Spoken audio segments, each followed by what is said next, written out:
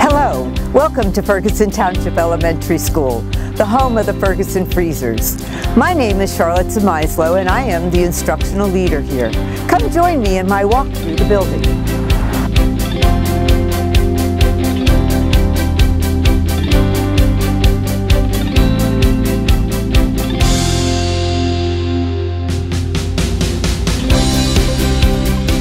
Go into the fourth grade classroom. They're doing math right now. Good morning, I'm Kelly Kaminsky and I work at Ferguson Township.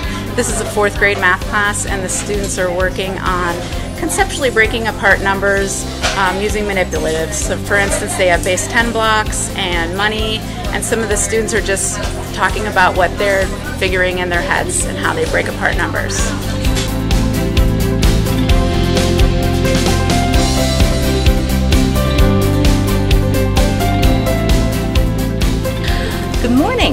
Christina Clare, and this is my first grade class. I have 17 students, and right now we are in the midst of our writing workshop.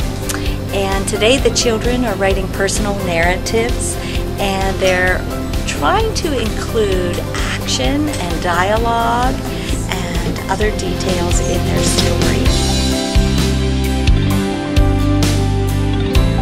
Hi, I'm Marty Fry, and I'd like to just share a bit about how the library program at Ferguson um, interfaces with the classroom instruction.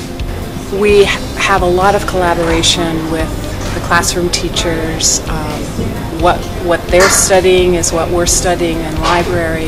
We have lots of resources, including databases and websites that students can use to enhance their research. We have three guiding principles here at Ferguson Township Elementary School, and they're called our three R's. The first R, respect yourself, means to keep reminding yourself and to never stop trying because you can learn. The second R is respect others. Always be kind to everyone. The third R is responsibility, means you should always be truthful and do what your teacher tells you to do. Thank you for joining me on our tour today through this building, this amazing learning community here at Ferguson Township Elementary School. If you would like to arrange a personal tour, please call our office. We hope to meet you someday. See you later.